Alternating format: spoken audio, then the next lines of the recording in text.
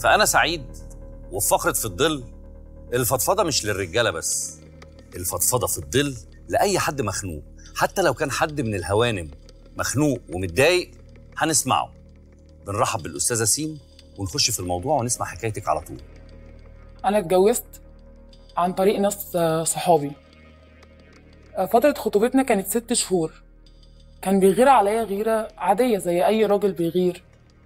بعد الجواز الغيرة دي اتحولت من غيرة لشك. بقى يشك فيا في كل حاجة. لو واقفة في البلكونة واقفة ليه؟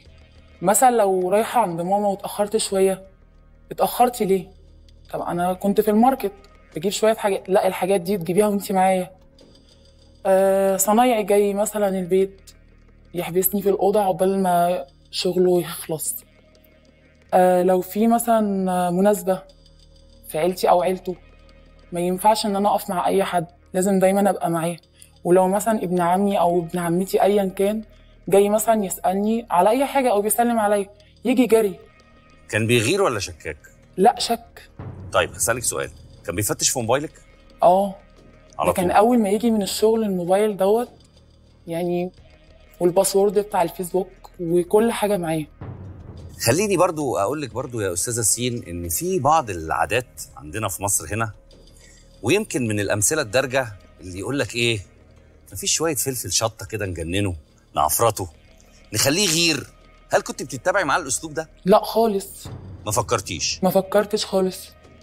طب رغم كملي كده إن هو الشك يعني خلاني يعني أثر على نفسيتي جدا. آه عدى شهور وحملت فجيت بقول له أنا حامل فلقيته اتصدم كده. فبقول له صدم؟ آه فبقول له مالك؟ أنا كنت حاسة إن أنت هتفرح.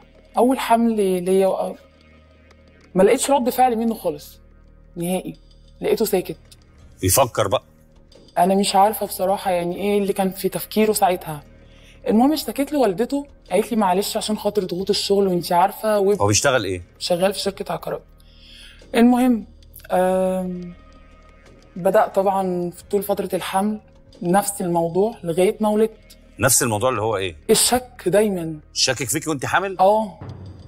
هو شك إزاي يعني بيقول لك إيه؟ يعني إيه الحوار اللي ممكن يدور ما بينكم وتحس إن في الحوار ده فيه شك؟ مثلا لو وقفت في البلكونة شوية انت بتبصي على مين؟ آه ماسكة الموبايل يجري بسرعة يشوفني بعمل إيه. خلينا برضو أسأل حضرتك سؤال. هل أنتوا دايرة أصدقاء واحدة؟ أيوه. طيب دايرة الأصدقاء الواحدة دي كان في حد مثلا معجب بيكي في الشلة؟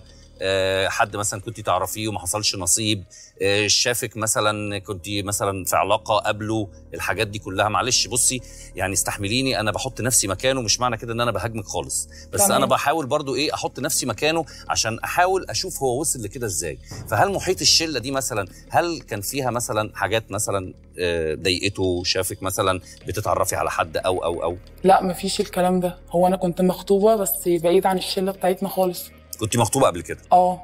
طيب لما جه وانت قلت له انك كنت مخطوبة قبل كده هل سألك أسباب الانفصال؟ هل حاول يروح لل... للراجل اللي انت كنت مخطوبة له. يسأله وسبتوا بعض ليه؟ كان طبيعي جدا ومفيش أي حاجة.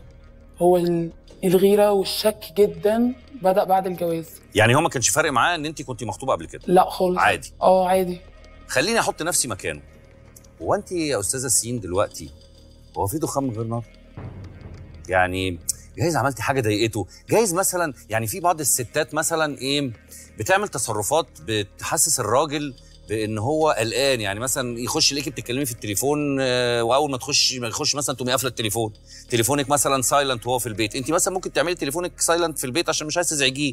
أو ممكن مثلا كنت بتكلمي مامتك فلما جه قفلتي عشان تدي له اهتمام. هو فعلا حصل الموضوع شكرا ده. شكرا حصل فعلا. آه إيه بقى اللي حصل؟ آه كنت مسافر. هو وقت ما أنا قلت له أنا حامل فهو اتصدم قوي كده فأنا قلت له مالك مصدوم ليه والكلام دوت.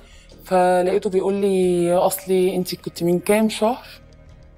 يعني أنا ما حملتش على طول قال لي من كام شهر تليفونك كان silent قلت له أنا كنت مع زميلتي وبعديها رحت لماما. فقال لي انت ما ردتيش على الموبايل. فكان في شك كده كان حاجة غريبة. فأنا قلت له ها؟ مش عارفة. أنا حاسة إن هو مريض. مع إني ده حصل فعلا. بعد ما ولدت اخذ الواد آه ونزل بيه. فقلت له نزل فين؟ قال لي نزل أقعد شوية مع زمايلي. نزل شوية وجه ما تاخرش المهم كنت فين؟ آه كنت قاعد مع زمايلي. لما خد الولد ونزل أنت عرفتي هو راح بيه فين؟ خليني أسمع إجابتك في الجزء الثاني